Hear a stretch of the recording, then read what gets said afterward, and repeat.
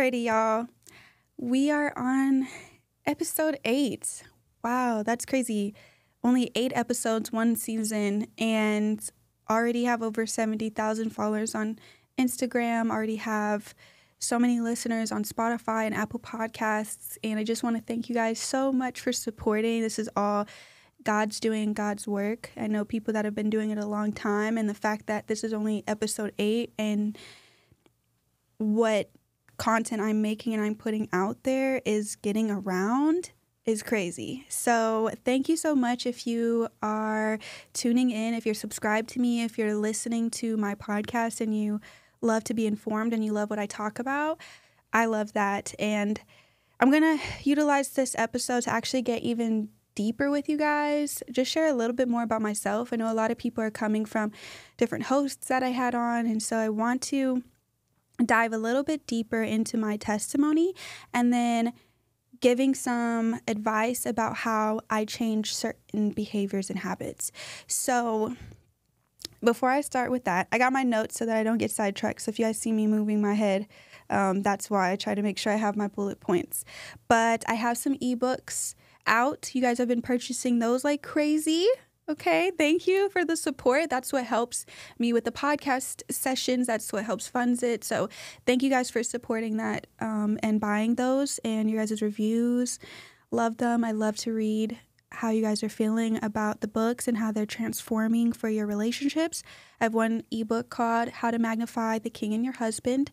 Um, it's a communication book, and it's really great to uh, really self reflect before communicating to your man and how to just talk to them. Men are simple creatures. I've kind of learned that from being married myself, and they love respect and praise. So, definitely encourage you guys to check out that book regardless. Every wife should purchase that book. It's it's great to just skim through, read through, and apply what you want to apply to your own marriage. And I have another ebook. It's called I'm the Prize Said Who. It's a wife's guide, me, to eliminate the spirit of ego. I think that everyone should buy that. I've heard even married men say that they learned a lot from that book as well. It's just eliminating pride and ego. You have to, if you want a healthy marriage, you have to let go of pride, you have to let go of ego. So it's a deep, deep self reflection ebook. I self reflected a lot. I had to ask myself if I'm the prize. You have such a, this society, this generation is all about themselves. It's very narcissistic because of social media.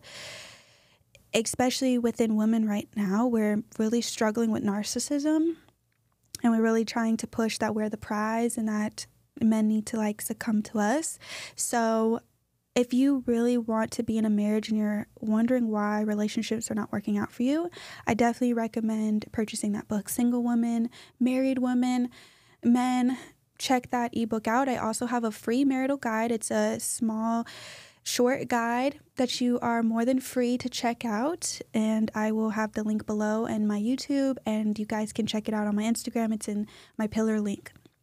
So, besides that, what other announcements before I get into my testimony? Oh, I also am now doing coaching and counseling because a lot of you guys have been emailing me wanting one on one sessions.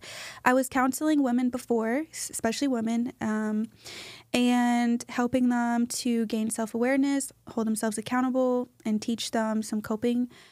Coping mechanisms and how to communicate to their partner. So I'm now going to offer it to other people, one on one or even couples. I've been doing that actually for the last couple of years from being the, the the lead speaker of an entire Bible study and having to counsel all of those women. So I've been actually counseling for quite some time and I'm going to start offering it to the public that's watching my podcast. So check that out as well and you can sign up for that. All right, now getting into my testimony.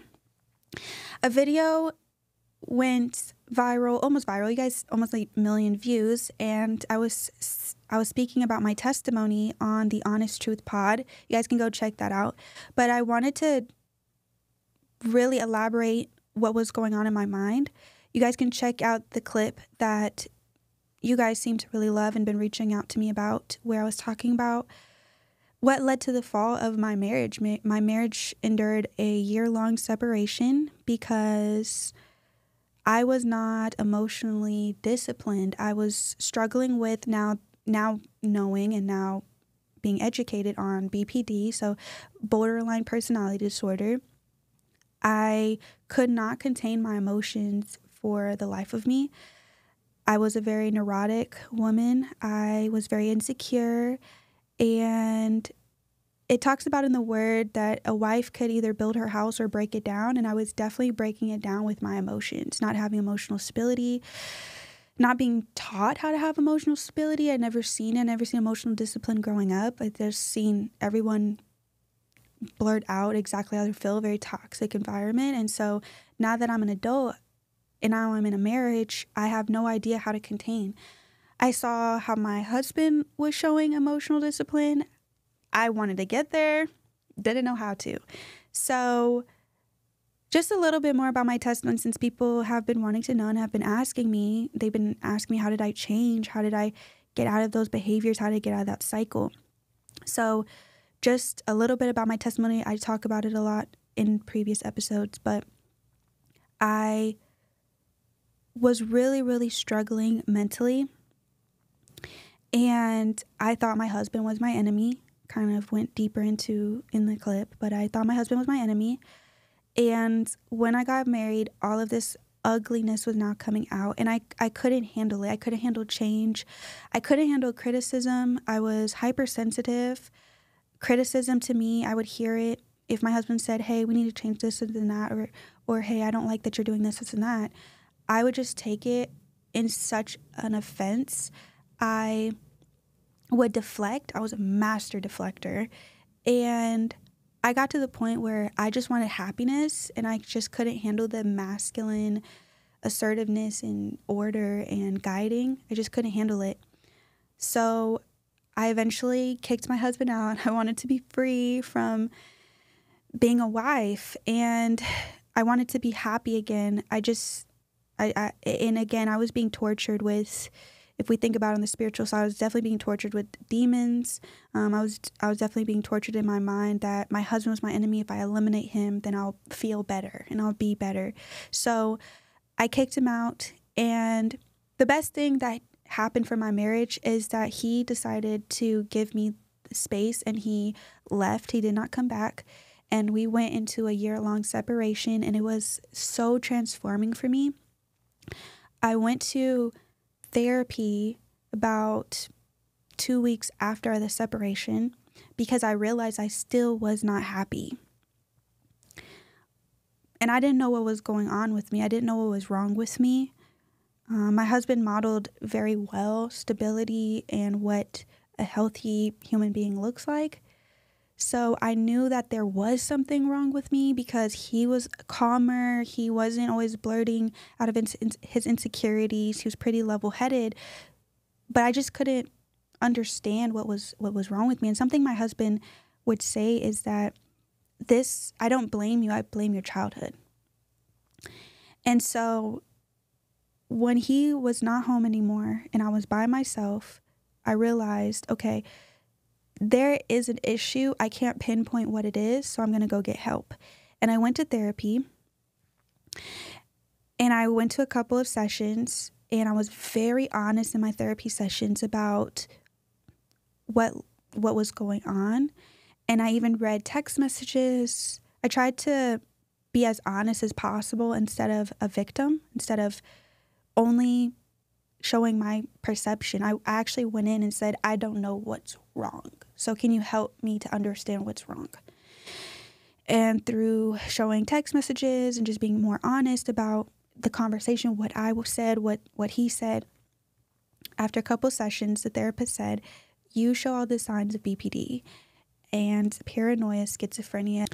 So, that is kind of my testimony. I spent a year long I spent I spent time in a year long separation by myself to practice and retrain my brain to unplug all of the trauma, to unplug all of the triggers and start thinking more logically instead of so emotionally. now I want to kind of share because a lot of messages that I've been getting, people have been coming to me and sharing their testimonies and sharing their testimonies with their relationship and that I the way I broke things down in a couple of clips and on other podcasts sounds a lot like the relationship they're in. Or some people have came to me and said, "This sounds like me. What should I do? What is this?" Um, I want to kind of talk about what BPD is. So BPD is really a it's a personality disorder. It's a loss of identity. That's what I've come to learn it as. I'm not a psychologist, but I can give uh, you guys the knowledge that I've um, taken in and what I've learned is that you have a loss of identity. You don't have a foundation. And one thing I'm going to talk about on my podcast is that my foundation is rooted in God. Um, I learned my identity through Him and His Word, and having being grounded in something is going to help you break free from mental health this, these mental health issues. It, it really is, and um, I, I'm gonna I'm gonna read a I'm gonna read what BPD stems from. So it's a character issue.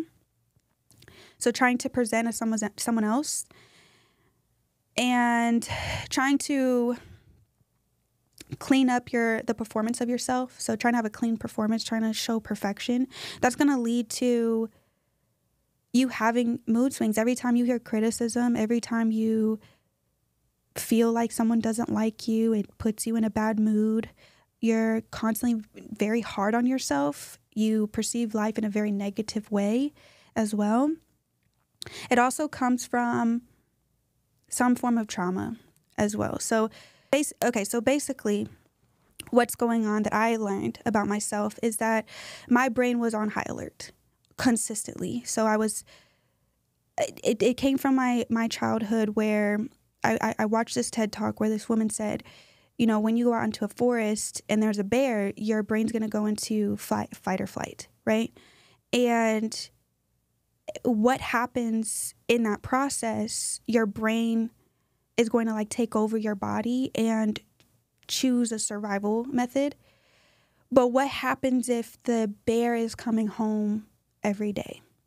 And so if you have gone through some form of trauma, your brain every time now into your adulthood when it is triggered your brain goes straight into survival. And so that clip where i said i viewed my husband as my enemy is that he now as my spouse in the house with me. He was triggering me and my brain was making him out to be the bear all over again. And so i would lash out i would get loud or i would try to flee it was always fight or flight it was never neutral it was never neutral and this, you know, when I got diagnosed with BPD, that's, you know, where it's stemming from is your brain is on high alert and it doesn't know how to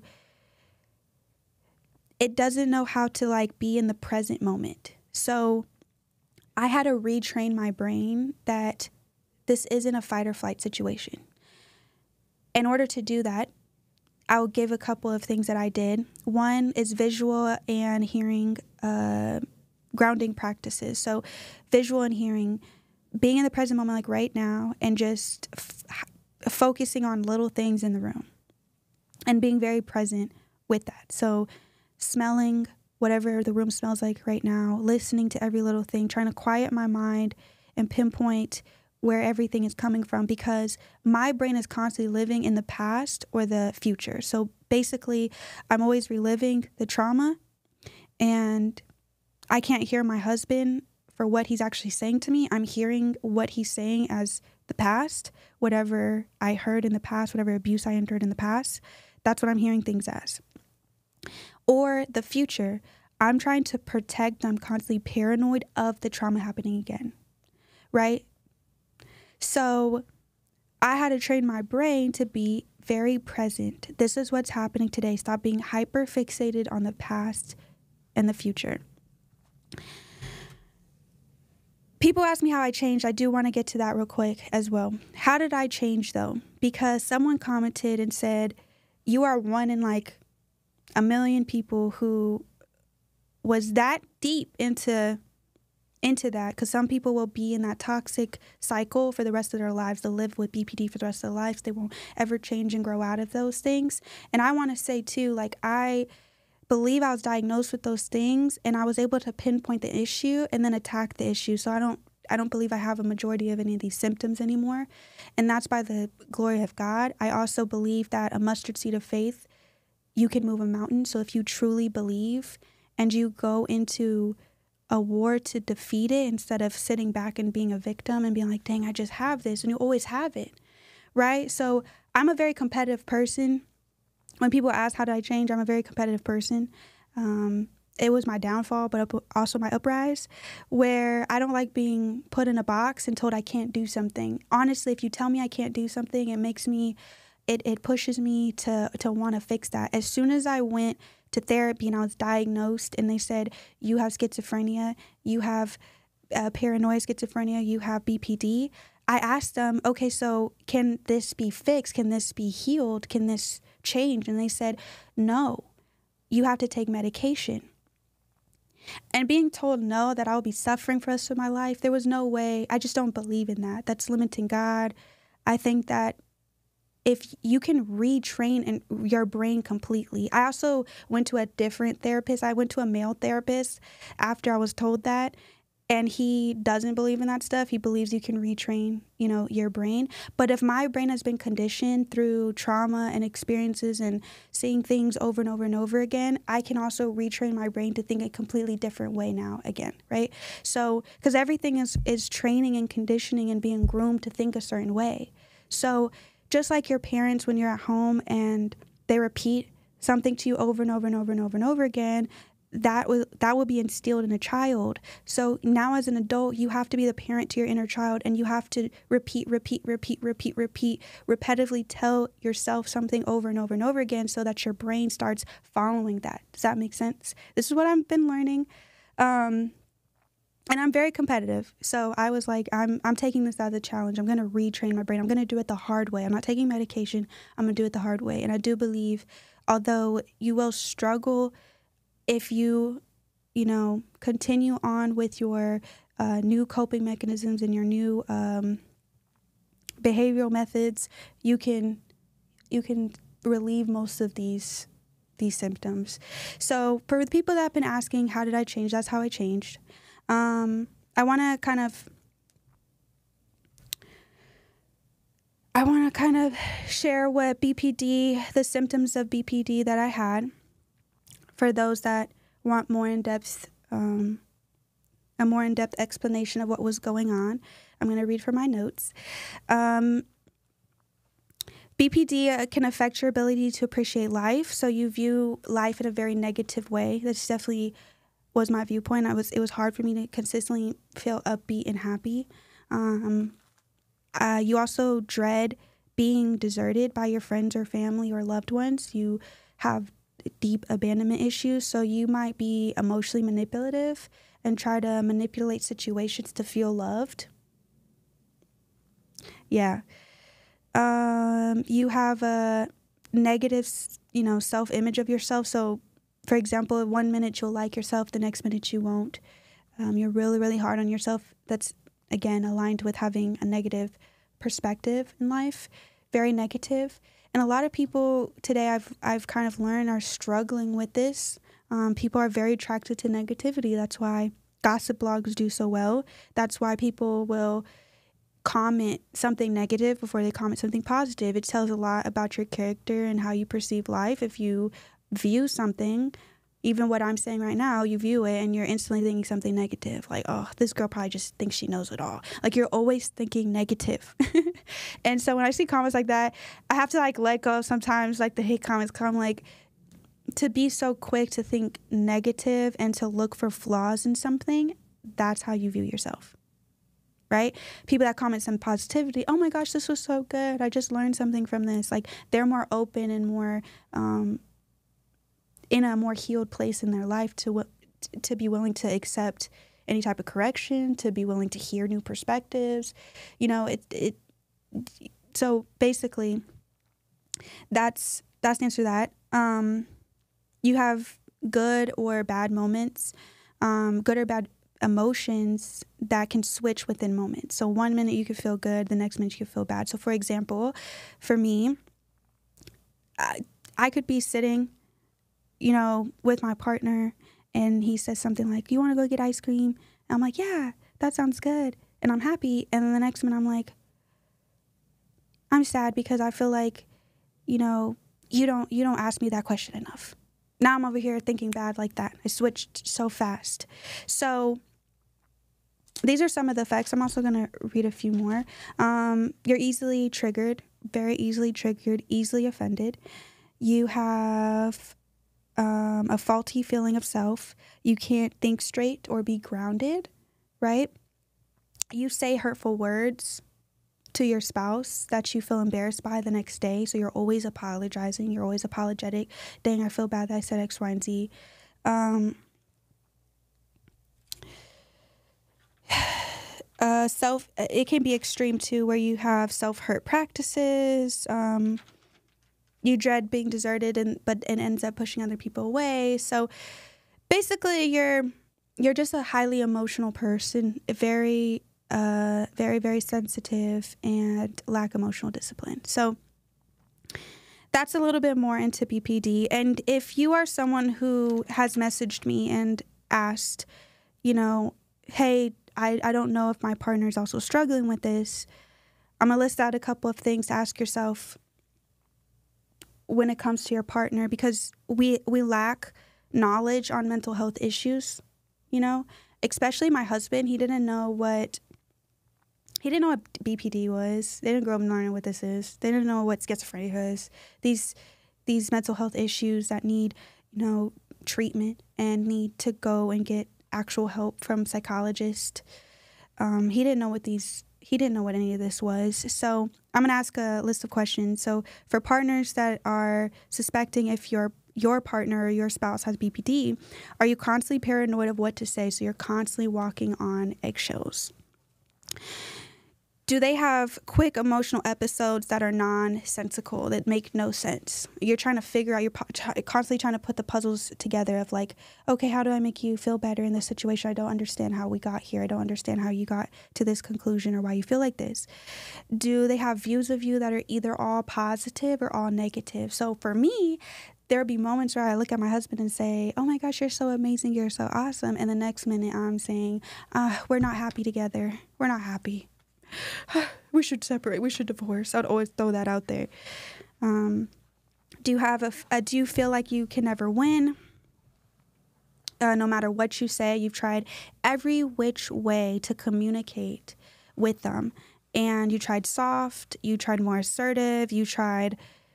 My husband used to um, have me write down my feelings and just try to, like, go through, you know, everything that I've written down and try to distinguish the problem. Um, he's tried everything, and that can get draining because you just feel like you're never winning. No matter what you try to do, you can't resolve the problem.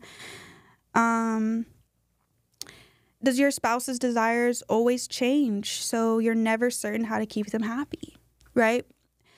And another thing with someone with like BPD, a very emotional person, is always always pursuing happiness over purpose. So they're always seeking to feel happy. And I actually recommend people that are trying to heal from the symptoms of BPD is to get off social media. Get off social media because you will see a video and it will have you thinking your partner is the worst partner. They didn't get you the big bouquet of flowers. They're, they're not a good spouse. You know, get off social media. Social media is a facade. Um, they play off of people, I believe, that have unhealed you know, baggage and and they're constantly breaking up relationships. People are constantly breaking up with their partners because of what they see on social media. So if you think that you are struggling with the with being a very emotional person, highly triggered, um, have a lot of self doubt, insecure, fragile person, get off social media. Take take a break while you're going to therapy and working through, um, working through relieving these symptoms and learning better communication skills, building self awareness. Um, another another question ask yourself is: uh, Does your partner always blame you or accuse you of making statements that you never did? That's a part of also. It could be also linked. I, have learned that paranoia, schizophrenia is linked with um, BPD because you're always your brain again is on high alert, high high alert. in like the survival mode, fight or flight mode. So it can also put you in paranoid states uh, in your mind. And so you could, your brain could be telling you that your partner said something they never said, right? That's coming from the trauma. Um, do you feel controlled by the crazy conduct? And if you have answered yes to majority of these, your partner actually might be dealing with some mental health issues. And in, in that case, I do want to state this because my my husband, my husband leaving, um, and me building self awareness and holding myself accountable. I will say once I came to realization how much that probably did affect my spouse, I want to say that you are only human. You are only human being. Uh, putting that much on someone's plate to deal with how dealing with a neurotic woman, dealing with craziness like that, a very unhealed, easily triggered person, they need to go seek out help period. They need to go seek out help. You are not, every hurtful, harmful thing they've said to you as well is all due to like the mental health issues that they're suffering with. One thing I'll say is that I was being tortured in my mind, and a lot of things I said I didn't meant, but I just could not stop the thoughts and the emotions. When you are a very emotional person and you are also dealing with the trauma um, and being unhealed, you say a lot of like you say a lot of things to stop the pain that's going on you know these emotions aren't like I feel like normal people, normal heal people feel. When I felt a feeling, it would be so intense. It would be so, so powerful. I could not keep my mouth shut for the life of me. There was no way I could not hold my tongue. I just had to speak out of that emotion consistently. It's the only thing that got me to like feel like I could breathe, and it it was torturing my mind um, to not say anything. So a lot of things that they are saying, it's like I felt like my body and my my mouth and my emotions were separate from my spirit. Like there was a lot of things I would tell myself, don't say this, don't be like this, don't do this, but I just could not stop. I could not I didn't have any control over my body. So I want you to know that there's there's really nothing you can do for someone like that. They really do need to retrain their brain. They have to want it far more than you want it for them. They have to want to change. I was I wanted to change. Like when my husband left, there wasn't I didn't know if my husband was ever going to come back. You know, I didn't know if he was ever going to come back. It was a year in. I changed for me. I didn't want to be that wife to anybody. I didn't want to be that woman to anybody. you know, it hurt my heart that I had such a good man and I cried I cried about it especially when I was learning about myself in therapy and I'm learning that like I was wrong. Like I was so wrong. My emotions made me feel so right, but I was so wrong, you guys. Um and building that self-awareness and holding myself accountable I, I did it for me. I changed for me. I just could not imagine putting another human being through that. And I and I and I wanted to be a healed woman and I wanted whether my husband will ever know it or not, if he if he ever knew it or not, that that didn't go into vain. You know, how how sad and depressing for the men that have put up with a very neurotic woman who is not emotionally disciplined. And then they leave heartbroken because there was nothing they could have done to to change no matter what they try to do no matter how much love they try to give. There was nothing they could do to change her. They leave and then that woman goes and bees and she goes and gets with other men. That is that is heartbreaking and she never changes it's like all that that she put in all that she sacrificed went in you know went to you know went to the trash you know and and I get why there's men that watch my podcast and they're angry at women, you know? I get it. Like how frustrating how frustrating and and the feminist movement and our food and social media and Hollywood has programmed us women. You know what I'm saying? Um, and we're struggling with BPD and mental health now more than we ever have before. So, um, and and the reason why I'm speaking for women is because women are three times more likely to have BPD than men. It's a very emotional. I believe it's a very emotional mental health issue, and women are more emotional creatures. As much as we want to refute that, we are. Um, we so, with all being said, um, I want you to, for anybody that's dealing with a partner, and some women could be dealing with a man that has BPD. You know, I want you to also prioritize yourself. And no matter what they say to you when they're having these episodes and these lash outs, you need to know that this is coming from them being tortured. And you also need to prioritize filling up your own cup. So being around loved ones, I remember I used to hate it. Oh, I used to hate it. My husband would go and spend time with his family and friends, and I'll try to control that because I felt abandoned, and I could feel, I could physically feel that he didn't want to be around me. and that hurt me so bad, you know? And um, I'm glad he did because going back home to a wife who was making him absolutely miserable and crazy, but he loved her so much. And it was like, it's like that saying where, where husbands like literally die for their wives. Like he was putting his self on the line for me, you know? And as him going and spending time with his family, as he should as he should. You you want to start pouring up your own cup if you're married. This is for married couples. Um, if you are not married, you don't need to be putting yourself through that. Uh, someone with BPD and mental health issues and everything that I just listed and putting their partner through this, this emotional abuse, they don't need to be in a relationship. People have asked me, what should I do? What should I do? If you're not married, they do not need to be in a relationship. I had no business getting into a marriage acting like that. Mm-mm. Mm-mm. One thing that God humbled me on was marriage is a gift. Not everyone's going to get married. Not everyone's going to be married. Not everyone's going to have some part. Uh, not only not only in a marriage, but a marriage with being in a marriage with someone who really loves them and loves the Lord, loves God and follows me, and is not you know seeking after their own selfish desires within the marriage. You are blessed times three, and you're to act like that. You literally have no business being in a marriage. And if you are, this is just my honest belief, perspective, everything. If you are with someone with mental health issues, BPD, and they're being emotionally abusive, they don't need to be in a relationship. They're not a terrible, bad person. They're suffering. As someone who is suffering with my emotions, I have so much empathy for those that are deal with that are called narcissists and were being emotionally abusive to their spouse because I was doing that and I didn't have control over myself at all.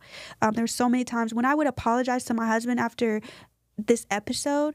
I genuinely meant that I was sorry. I just didn't know how to stop. Therefore, I had no business being in a marriage until I was healed. No business.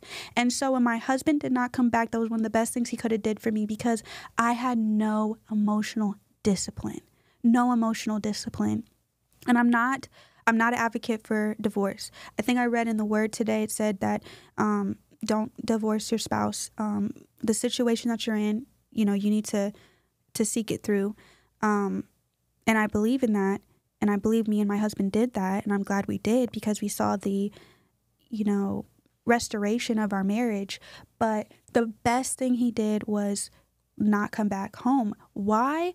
Is because now I'm dealing with the consequences of my behavior. And because a child is supposed to learn discipline growing up from their child from their um, growing up in their childhood and their parents are supposed to teach them emotional discipline they're every time they lash out or have a tension whatever they need to get spanking or a whipping or feel some type of consequence as you cannot go into your adulthood acting like this right a lot of us don't have that and especially if you had a single mother if you were with a single mother and she was she was struggling with her own emotions. You weren't taught how to be dis you weren't taught how to have emotional discipline. So now i'm an adult and nobody's my husband can't we're not living we're not living the time where men were smacking their women. We're not living those times. I can call the police on him as soon as he puts his hand on me. Like there's no discipline. I can't get no spanking by my husband. You know what i'm saying? Like d- just being funny. But for real there's no i don't have no discipline. And so him leaving me was me facing the consequences of my actions. And what happened was now i'm dealing now i'm being disciplined as an adult. Okay, now you're put in this position. You have to suffer the consequences. And honestly, I took it a step further where I started being the parent to my own inner child. I realized I didn't have a parent that disciplined me. Therefore, someone else is going to have to do it, and it's going to have to be me right? I'm going to have to parent my own inner child. And so I started disciplining myself. I was alone, and every time I acted out of a chaotic way in an emotional state, I disciplined myself. There's going to be consequences now. It was so crazy and so spiritual. But I even I even would hear this little girl in my mind. It was so creepy and scary and maybe linked to, you know, they, they try to diagnose you for everything, but the schizophrenic, you know, episodes or whatever. But I believe it was very, very spiritual, of course. I'm a, I'm a believer in, in the word of God and I do put a name to something so that I know how to attack it. Um, and putting a name to these these things helped me to be able to attack it and identify it. Um, but I was I was hearing this like little girl who I would be laying in bed and I would hear another voice and it was so nagging and annoying. And I realized that's what my husband was dealing with, con- you know, consistently. And I would hear this little girl who would be like, I'm scared, I'm scared, I'm scared. Because now I'm alone in this apartment by myself. And I hear this little girl saying, I- I'm scared, I'm scared, we're all alone. He left us. And I would say, You're not a kid. You're a grown woman. You're 20. I was 24 at the time. You're 24 years old. 24 year olds live by themselves. 24 year olds are single and by themselves. You can you can manage through being alone in the apartment. Um, and that's another symptom of having bpd is that you're so afraid of being alone. And you need to be. If you want to heal and you have these symptoms like i listed today you need to be by yourself. You do. Um, you need to master that. You need to master uh, being alone by yourself. Stop going into relationship after relationship. Trying to fill the void stop going into relationship in the relationship because being in a relationship with someone else and their love dictates if you love yourself. That's what I was doing prior. And that's what I realized that cycle that I was in that I could not love myself being alone. I could not love being by myself. I had no joy with me. So I was always looking for people to validate me and to love me for me to love myself. And that's something as human beings, we all desire love and validation. So it's something you're going to have to like balance because it's okay to like, you know, want love and desire that, but you also have to like be able not to be chasing after that so bad, so badly. So, with that being said, build your self awareness, live in the present.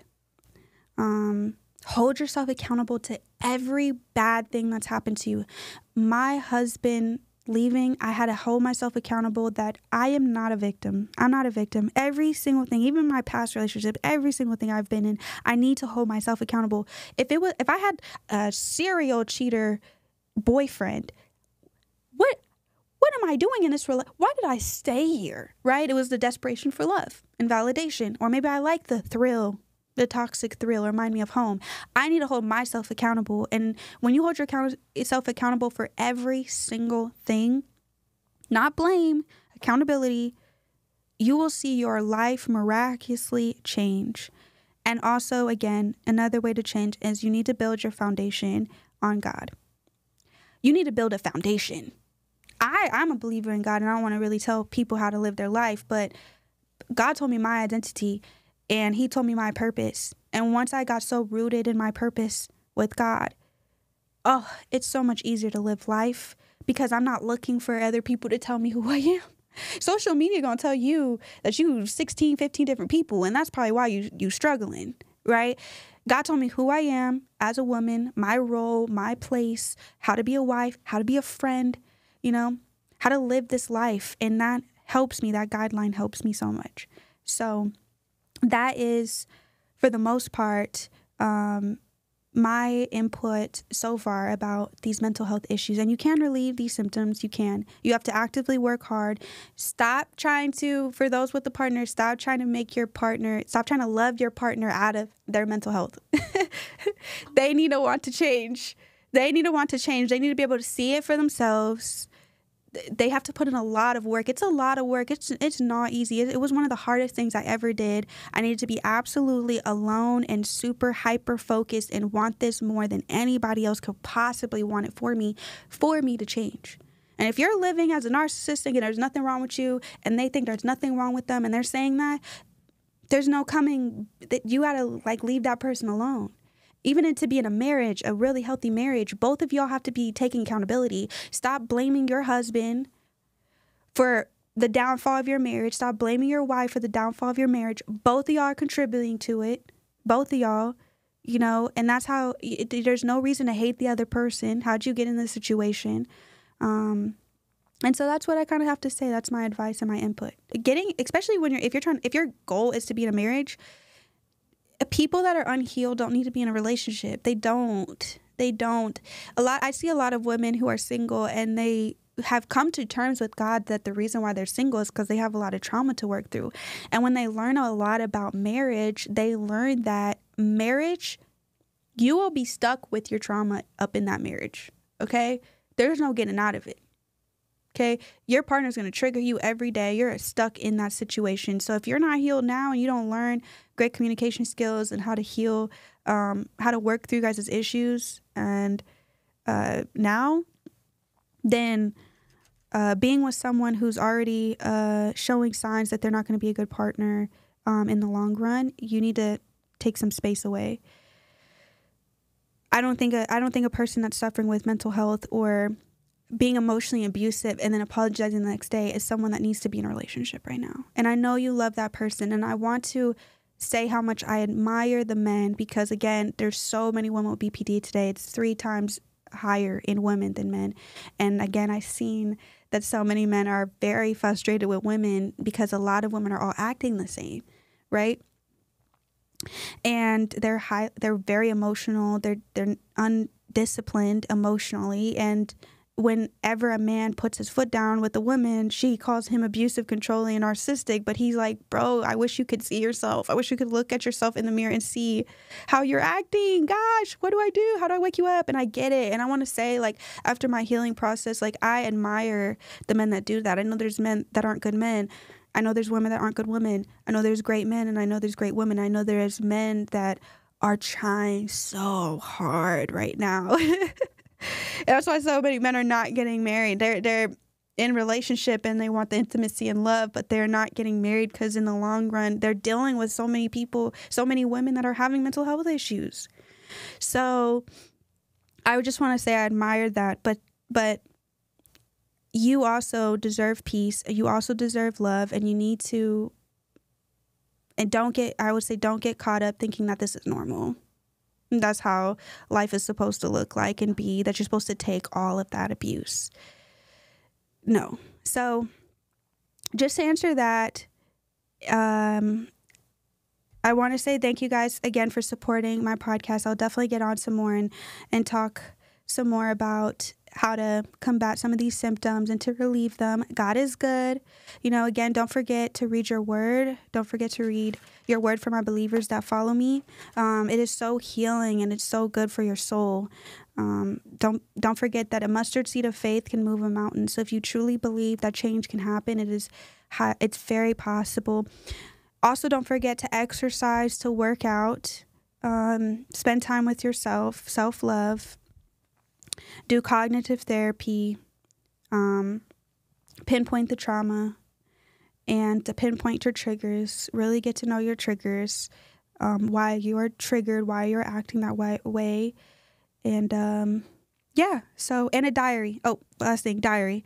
Uh, let out your emotions in a diary. So for the women that are struggling, or people with BPD that are struggling with lashing out emotional outbursts, um, have a diary or I didn't have a diary on hand and my emotional outburst could happen any minute at any time, I would pull out my phone and start recording myself and just talking to the camera. So I have like these 18 minute videos in my phone from when I had these emotional outbursts. and uh, uh, it helped me to get it out immediately because that, that was part of the BPD was like, I just, when I felt everything, it was just like, it would just rise up and expand and feel like this huge ball. And I was like, ah, I, I can't not with, uh, I can't shut my mouth. So have a, an, a place to go to instantly to let this out, right? Because your partner does not need to hear all of your emotions and does not need to consistently deal with your emotional outbursts that turn into emotional abuse, that turn into fights, that turn into arguments. They don't need to be dealing with that, right? Get leveled out by going to a diary, going to a journal, going to um, your phone and recording, you know, this emotional outburst and getting that out first to come to a neutral place to then communicate with your partner. All right. So that's about it. That's about it for right now. Go ahead and send me DMs. Go ahead and send me messages. Write out your guys' questions, concerns. I will come back. I will answer them. I'll talk more. Um, with you guys. Again, check out my coaching if you want to learn more, if you want to speak more, if you want to talk more. I am so available. Link down below in my YouTube uh, on this YouTube video. And the link will also be in my Instagram podcast uh, in the pillar. So check me out. Come see me. Come talk to me. And thank you for tuning into episode eight.